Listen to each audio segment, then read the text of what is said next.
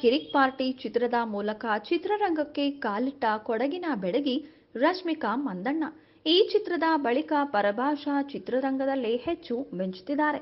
ವಿಜಯ ದೇವರಕೊಂಡ ಜೊತೆಗಿನ ಗೀತಾ ಗೋವಿಂದಂ ಚಿತ್ರದಲ್ಲಿ ಕಾಣಿಸಿಕೊಂಡ ರಶ್ಮಿಕಾ ಮಂದಣ್ಣ ಆ ಬಳಿಕ ಟಾಲಿವುಡ್ ಚಿತ್ರರಂಗದಲ್ಲಿ ಗಟ್ಟಿಯಾಗಿ ನೆಲೆಯೂರಿದ್ದಾರೆ.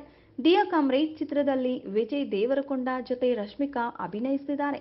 ಇದರ ಜೊತೆಗೆ ಟಾಲಿವುಡ್ ಚಿತ್ರರಂಗದ ಖ್ಯಾತ ನಟರಾದ ಅಲ್ಲು ಅರ್ಜುನ್, ಮಹೇಶ್ ಬಾಬು, ಕಾರ್ತಿ, ನಿತಿನ್ ಅವರ ಜೊತೆಗೂ ಸಹ ರಶ್ಮಿಕಾ ಮಂದಣ್ಣ ಅವಕಾಶವನ್ನ ಗಿಟ್ಟಿಸಿಕೊಂಡಿದ್ದು, ತಮಿಳು ಚಿತ್ರರಂಗವು ಅವರನ್ನ ಕೈಬೀಸಿ ಕರೆತಿದೆ ಹೀಗಾಗಿಯೇ ಹೆಚ್ಚುತ್ತಿರುವ ಬೇಡಿಕೆಯ ಹಿನ್ನೆಲೆಯಲ್ಲಿ ರಶ್ಮಿಕಾ ಮಂದಣ್ಣ ಅವರ ಸಂಭಾವನೆ ನಲವತ್ತು ಲಕ್ಷ ರೂಪಾಯಿಗಳಿಂದ ಎಂಬತ್ತು ಲಕ್ಷ ರೂಪಾಯಿಗಳಿಗೆ ಏರಿಕೆಯಾಗಿದೆ ಅಂತ ಹೇಳಲಾಗ್ತಿದೆ. ಮತ್ತಷ್ಟು ಸ್ಯಾಂಡಲ್ವುಡ್ ಅಪ್ಡೇಟ್ಸ್ಗಳಿಗಾಗಿ ಈ ನಮ್ಮ ಯೂಟ್ಯೂಬ್ ಚಾನೆಲ್ ಅನ್ನ ತಪ್ಪದೇ ಸಬ್ಸ್ಕ್ರೈಬ್ ಮಾಡಿ.